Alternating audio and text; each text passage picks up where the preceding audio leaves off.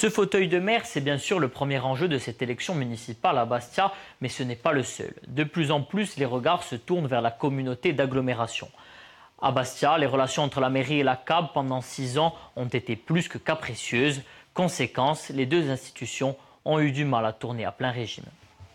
La rupture, elle intervient dans cette salle en 2015. Tout juste un an après son élection, la coalition nationaliste gauche-droite implose en plein conseil communautaire. Il vous reste donc à en tirer toutes les conséquences politiques. Vous devez partir. Le regard noir, François Tati le sait. La suite de la mandature sera longue. Il se retrouve isolé, en minorité, avec seulement 4 élus sur 40. Je maintiens que j'ai été élu jusqu'en mars 2020. Et ceux qui ont l'ambition de prendre la suite devront patienter un petit peu.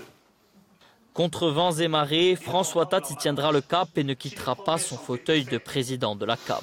Il tentera, avec de grandes difficultés, de mener à bien l'institution. Avec la loi NOTRe, les intercommunalités ont vu leurs compétences s'élargir. La collecte des déchets, la gestion de l'eau potable, les transports ou encore la politique sportive sont désormais dans le portefeuille de la CAB, de quoi attiser les convoitises dans la course à la présidence de l'intercommunalité. Thank you.